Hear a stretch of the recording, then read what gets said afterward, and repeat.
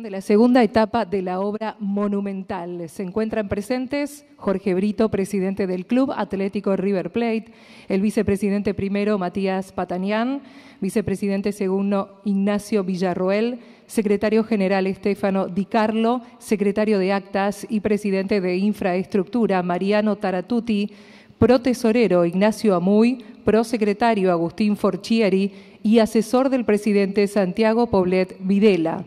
Agradecemos la presencia del expresidente del club, Rodolfo Donofrio, y también nos acompañan Marcelo Gallardo, Leonardo Poncio, Enzo Francescoli, Norberto Alonso y Ubaldo Matildo Filiol. A continuación, los invitamos a ver un video.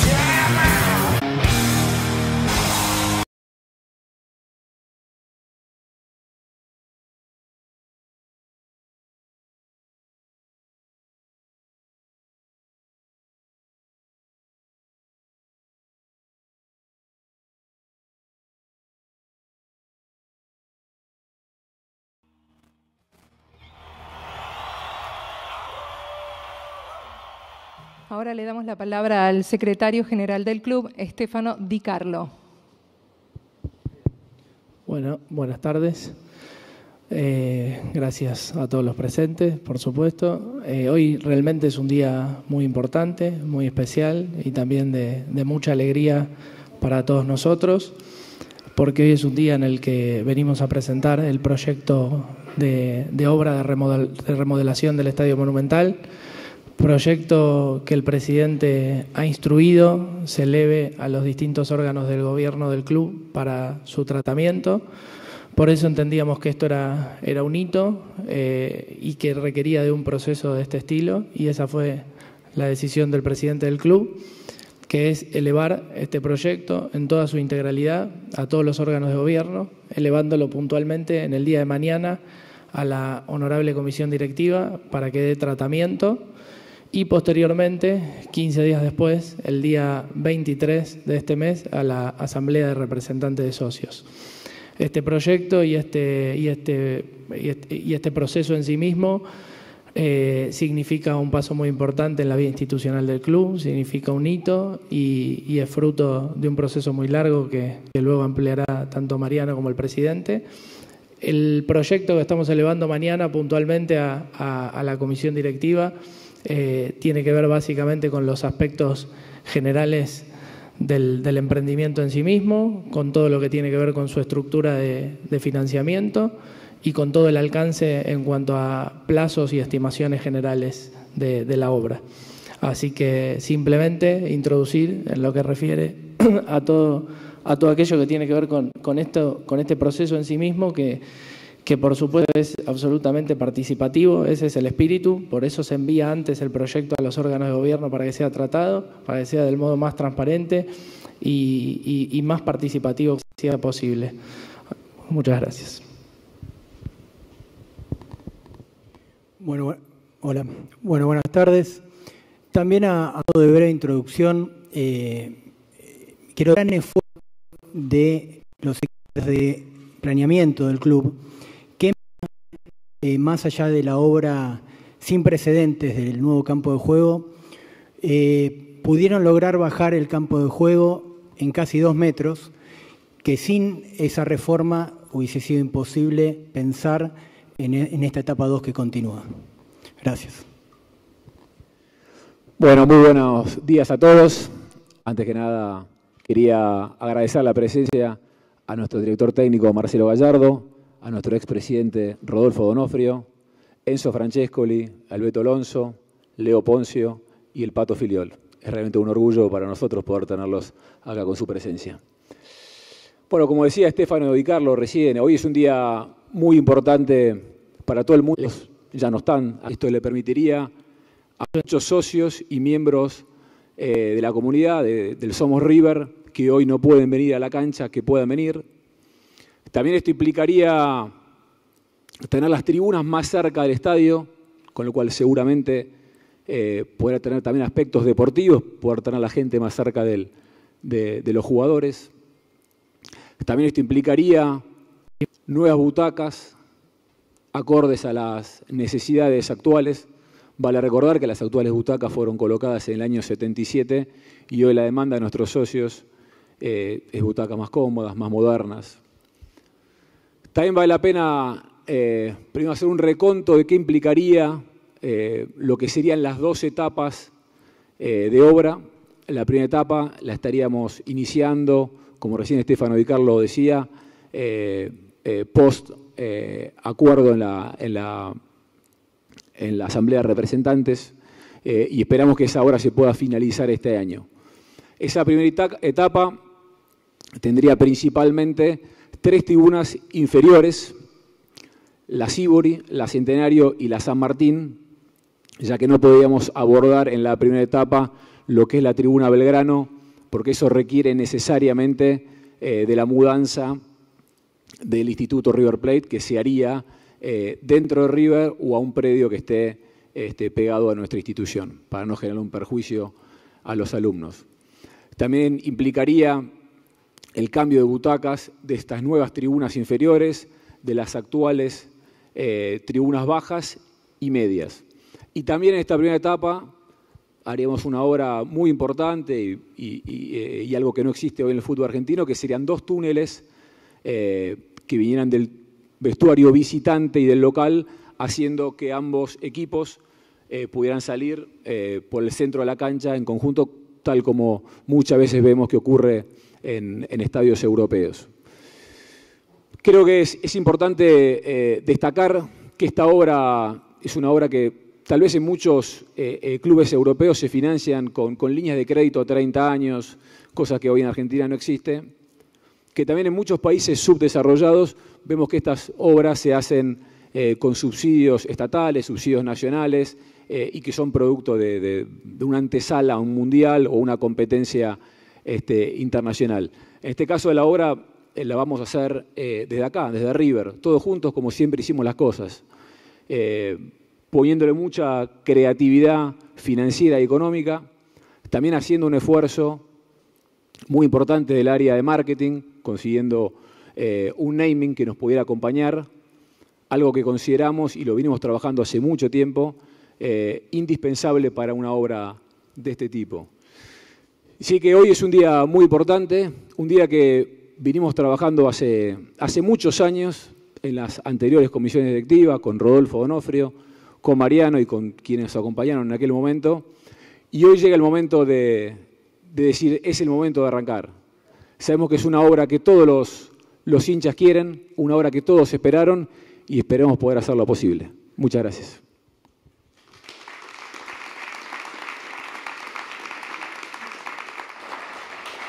Habilitamos un espacio de preguntas para que los periodistas puedan realizar las mismas.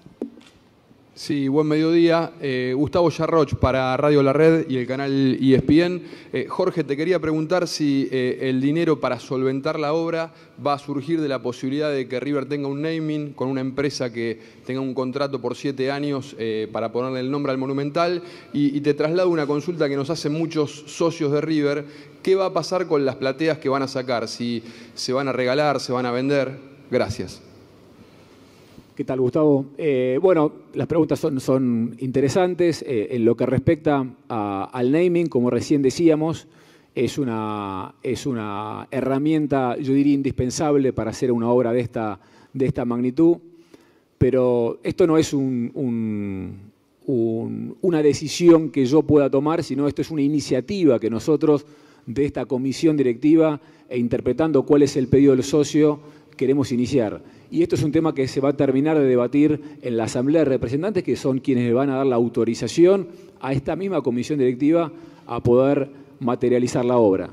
Y con respecto a las butacas, sí, obviamente se va a iniciar un proceso para poder venderlas, obviamente dándole la prioridad a quienes tuvieron la suerte de vivir muchas experiencias muy lindas en esas butacas para que las puedan tener de recuerdo para toda su vida y contarle a, sus nietos todo lo que vivieron ahí. Seguramente muchos de los que están acá fueron, fueron testigos y partícipes de, todo eso que todos los, los socios de River pudimos vivir en, nuestras, en nuestra vida. Buen día para todos, Juan Cortés de Teis Sports. Jorge, eh, ya se había dicho en su momento que River no iba a perder la localía en, tanto en cuanto se hicieran las obras. Y también te quiero consultar, primero si esto es así, si ya lo puedes ratificar de manera formal. Y te quería preguntar si durante el proceso de la reestructuración hay sectores en donde quizás van a ser inhabilitados mientras eh, ese proceso de reestructuración dure. Bueno, el, proyecto general, eh, digamos, tenía solamente una etapa crítica para, poder competir, que era la etapa del campo de juego. Eso inexorablemente este, requería de 6-7 meses de no poder este, eh, tener la localía y eso es lo que eh, eh, ya hicimos, que todos afortunadamente pueden ver y, disfrutar, que se hizo en periodo de pandemia con un gran esfuerzo de todos para poder materializarse y todo lo que sería la etapa 2 y la etapa 3 eh, no tendría ningún, ningún perjuicio ni deportivo ni tampoco para, el socio. Estaríamos creando un obrador en lo que es el triángulo que está entre Figueroa Alcorta y Udaondo, eh, es el actual eh, espacio de exteriores que van a poder seguir utilizando ustedes, pero digamos lo que respecta a la parte de, estacionamiento se va a estar utilizando para, para, para, hacer ahí el obrador, con lo cual de esta manera no, no estaría generando ningún perjuicio ni para el, espectador ni tampoco para, para el plano de lo deportivo. Jorge, ¿qué tal aquí? Eh, Maxi Grillo, estamos en vivo para TNT Sports. Me gustaría, sé que ya lo has dicho, pero si se puede reiterar eh, el tiempo y, cuál será la primera parte de, la obra, qué pensás para fin de año que puede tener terminado y cuál es el costo eh, total que, ustedes piensan aproximadamente, tanto para la primera como para la segunda etapa. ¿Qué hace Maxi? Bueno, la primera etapa está contemplada terminarla durante este año para, para poder ser inaugurada en febrero del 23 y la segunda va a llevar plazo parecido. Eh, los costos se dividen también, eh, primera etapa en unos 20 millones de dólares y otros 20 millones de dólares para la segunda etapa. Me gustaría agregar que en esta primera etapa también está contemplado, en la Centenario Media, eh, la obra de 30 nuevos palcos y un restaurante de 700 metros cuadrados que va a funcionar todos los días y obviamente los días de partido, y una planta adicional de cocheras que nos va a permitir sumar cerca de 250 adicionales. La etapa 2 se completaría con dos pisos más de cocheras y un túnel que comunicaría la última planta con la circulación directa de los palcos San Martín, y teniendo en cuenta que los palcos van a, ser, van a tener una circulación 360, hoy ya no, no, no colapsaría el hall, que hoy ya está al límite con este túnel, porque el, mismo edificio de estacionamientos tendrían ascensores y escaleras propias. Aquí Jorge. Buen día, estamos en vivo para Directivo Sports. Pablo Ságer. Eh, las populares van a estar detrás de los arcos, es la consulta. Y la segunda, si planean volver a hacer recitales en River y en caso que lo planeen, ¿cómo van a hacer para que no se dañe el campo de juego? Bueno, lo que respecta a las populares van a seguir estando detrás del campo de juego. Eh, obviamente el, objetivo final es que haya del lado de Centenario eh, butacas en toda la parte, la parte alta y también del lado Sibori. Eh, es, solamente un proyecto llevando digamos, lo que actualmente se llama popular, que es la, la Sibori alta, a lo que es actualmente el sector de Sibori baja y lo que sería la baja inferior. En lo que respecta a, los recitales, el nuevo campo de juego, según me dijo Taratuti y según este, hay experiencias este, internacionales, si se compra un cobertor eh, que tiene un costo muy importante y es importado, eh, y el que quiera hacer los recitales eh, tiene ese cobertor, tendríamos garantías de que, de, que, de que se pueda recuperar muy rápidamente y que los daños sean mínimos. No obstante, estamos intentando que todo esto eh, se haga después de, de, competencia para tener un tiempo para poder recuperarlo. Sabemos que es un año desde lo deportivo particular por el Mundial, con lo cual tendríamos ahí una ventana eh, este, en los meses de octubre a fin de año. Aquí, eh, Sebastián Arrur para Radio Continental. Muchos hinchas de River preguntan y quieren saber, Jorge, Em, ¿Para cuándo aproximadamente, no? Em, el hincha de River podrá disfrutar del estadio ya reformado y como quieren ustedes. Febrero 2024, mitad 2024. ¿Qué fecha le podemos decir al hincha de River que aproximadamente estará todo en condiciones? Bueno, recién Mariano lo, contaba, el objetivo final es llegar a junio del año 24. Eh, el final de obra, esto serían las dos etapas finalizadas, el 100% del estadio, los tres pisos del estacionamiento, eh, completamente los palcos y el restaurante.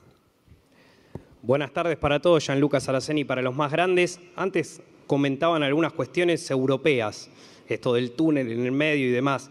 ¿En qué se basaron para estas cosas? ¿Tuvieron algún contacto con clubes europeos para las obras o simplemente se fueron fijando quizás lo, más llamativo de algunos estadios? ¿Qué tal? Eh, bueno, como decía Jorge, este es un proceso que, ya lleva tiempo.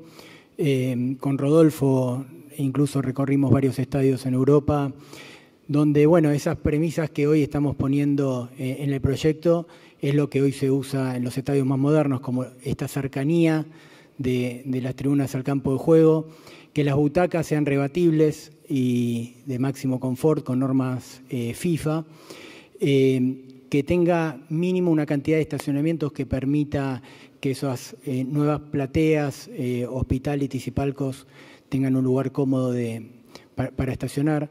Entonces, claramente nosotros tomamos modelos de estadios europeos para, para proyectar esta, esta nueva etapa. Hola, buenas tardes a todos. Eh, acá eh, Germán Belcarce para Revista 1986. Ya fue realizada la consulta sobre el tema de la localía, pero quería consultar y profundizar sobre este asunto, si con los protocolos rígidos que tiene la Comebol puede haber algún inconveniente al estar realizando obras eh, mientras el estadio está disponible para la competencia. Si eso se, conversó, se, charló con, con la directiva de la Comebol. Entiendo que la pregunta es por Copa Libertadores, pero como recién anteriormente decíamos, prácticamente en, el proceso de la obra eh, no hay cambios de aforo porque las intervenciones serían de 200 o 300 eh, butacas eh, por momento, no, no, no debía tener implicancia alguna en, el aforo. Es más, un, tema que pasamos por alto es que también el último año se hicieron obras en lo que son los ingresos a, cada una de las tribunas, que ya el solo hecho ese aumenta en 2.000 personas la capacidad del estadio, ¿no, Mariano? Claro, las troneras de las tribunas altas también lo hicimos eh, en este último periodo, aumentando 2.000 personas. El sistema constructivo en sí de este proyecto, que es in situ, eh, permite que eh, eso básicamente hace que uno no pierda la localía porque se construyen en definitiva cuatro tribunas independientes, como si fuera una, cuarta bandeja, anexando a la baja, media y altas actuales una nueva bandeja inferior, que con el correr de los partidos se va a ir viendo cómo crece. Y después, como dijo Jorge, va a ir aumentando el cambio de butacas, también con el correr de los partidos sin afectar la localía. Esas butacas también es importante entender que no es solamente sacar las actuales de madera e incorporar las, las nuevas, sino que tiene un proceso la tribuna de una impermeabilización especial para luego poner, porque sin esa impermeabilización seguiríamos teniendo problemas de los días de lluvia como pasó hoy. Jorge, ¿cómo estás? Buenas tardes. Acá, Mauro Palacio para Osos River. Eh, se habló mucho durante un tiempo y el hincha estaba angustiado porque creía que no iba a ser posible esto y quizá el Monumental iba para otro lado. Eh, hay una alegría y un orgullo especial por todo lo que se está haciendo y bueno, una mudanza no fue necesaria? Sí, yo creo que la, gente está muy feliz este, por toda la actualidad que está viviendo eh, River actualmente y obviamente esto era una, demanda, una, cuestión que nosotros consideramos que teníamos que, realizar a futuro. Mira, yo creo que un gran ejemplo de, de, lo que hemos vivido en estos ocho años de gestión es intentar no, no, arreglar con parches eh, las, cosas. Teníamos los famosos quinchos internos que nos decían que había que cambiar la chapa del techo. Y nosotros teníamos un proyecto, que era hacer este salón de usos múltiples que tenemos actualmente y que lo pueden disfrutar más de 20.000 socios todos los años. Eh, con respecto al estadio era lo mismo, no, no, no era una cuestión de ir cambiando butaca tras butaca, sino que hacer una reforma integral pensando cuál era el proyecto futuro con lo cual afortunadamente hoy estamos en un día muy alegre para todos los, los socios y para toda la comunidad realplatense, en el cual vamos a tener el estadio que todos soñamos siempre. Buenas tardes para todos. Eh, Juan Bielac de Sintonía Monumental. Quiero preguntarles si ya sea dentro de estas dos etapas o quizás para un evento a futuro en cuanto al estadio o un proyecto a futuro, se está pensando en poder techarlo al estadio monumental o no, o si no se está considerando por ahora. Y la otra consulta tiene que ver con los accesos, porque se amplía la capacidad del estadio y han surgido algunos problemas que tienen que ver con la concentración de gente, problemas con la policía. Si se está pensando en quizás dar más puntos de acceso en el estadio con estas eh, dos etapas y esta obra como para ampliar y, poder tener eh, mejor capacidad a la hora de, ingresar? Bueno, eh, la primera pregunta del techo no, no está contemplado en, esta etapa. y con respecto a los, a los accesos, estamos en comunicación constante con la ciudad, queriendo mejorar, no, no solo para lo que se viene, sino hoy en día que, que que fluya tanto el, ingreso de los hinchas como la circulación de, los autos mejor. Y claramente estamos con sus equipos técnicos proyectando tener eh, más opciones eh, de, este flujo adicional que, va a tener Monumental para los próximos años. Buenas tardes, eh, Nadir Gazal para la página millonaria, acá. quería consultarles por el tema bonos, ahora que se amplía la capacidad del estadio si tienen contemplado algún esquema particular, si va a haber abonos específicos para lugares para socios o para Somos River o inclusive para no socios este, debido a este aumento, eh, ¿cómo lo tienen pensado de acá a futuro? Eso tiene que ver justamente con este proyecto que contábamos antes que vamos a enviar, que incluye como fuentes de financiamiento eh, cosas que tienen que ver con, el naming y también con una preventa que, por supuesto es algo que ya ha circulado en versiones periodísticas y demás y que por supuesto recibimos todo el tiempo ya todo tipo de consultas y un enorme grado de interés, pero va a ser fruto de ese proceso de aprobación interna en los distintos órganos de gobierno esa fuente de financiamiento que es una gran preventa que incluye determinados, por lo menos en nuestra propuesta, determinadas maneras de construir distintos packs y poder vender todas esas nuevas localidades disponibles. Escuchamos la última pregunta. Acá María Varela para Equipo 10, Radio 10 Salta. Eh, la consulta, Jorge, es acerca, recién hablabas de ingeniería financiera en cuanto a empresas. Si a futuro tienen pensado también pedir alguna colaboración al socio. Bueno, antes que nada, mi saludo a toda la gente de Salta. Eh, no, lo que respecta a. Acá no hay ningún tipo de colaboración. Lo que estamos planteando es un proyecto que le permita a, muchos socios que actualmente no, no pueden venir eh, y generar fuentes de financiamiento como para poder materializar la obra con el naming, como decíamos anteriormente, con los nuevos ingresos que generaría este aumento de capacidad. Eh, y esa es un poco la, la fuente de financiamiento que están previstas para poder materializar la obra. Eso es todo. Bueno, muchas gracias. No sé si querés decir algo más. No, quería nuevamente agradecerles a todos la, presencia y, que sepan que todos ustedes son parte, parte de esto. Gracias. Buenas tardes.